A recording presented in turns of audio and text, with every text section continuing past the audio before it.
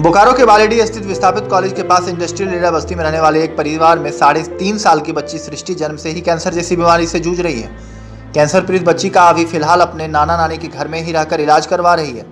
सृष्टि के नाना ऑटो चालक हैं और एकमात्र आमदनी का स्रोत भी यही है। सृष्टि की नानी संजू देवी का कहना है कि सृष्टि को बोकारो में डॉक्टर को दिखाया गया था। जहाँ डॉक्टर ने जन्म से ही कैंसर होने की बात कही। कुछ दिन बोकारो में इसका इलाज चला, फिर यहाँ से रांची ले जाया गया। मुंबई भी इलाज के लिए ले जाया गया, लेकिन आर्थिक स्थिति के कारण इलाज नहीं करा पा रही है। उन्होंने बताया कि इलाज की मदद के लिए बोकारो विधायक के पास भी गई। फेसबुक के माध्यम से तथा स्थानीय लोगों की मदद से थोड़ी बहुत मदद मिली, मगर वह नाकाफी है। उन्होंने झारखंड के हेमंत सरकार की तरफ़ से मदद की आस लगाई है। ऐसे ही मदद हो रहा है, इसी तरह इलाज कर रहे हैं, थोड़ा बहुत दवा चल दिखा रहे हैं। पूरा मदद कर रहे हैं बोकारो टीमर वाले भी मदद कर रहे हैं। एक ठो औरंगाबाद के हैं वो भी बोला जितना सिस्टम में खर्चा होगा उसे हम पूरा करेंगे।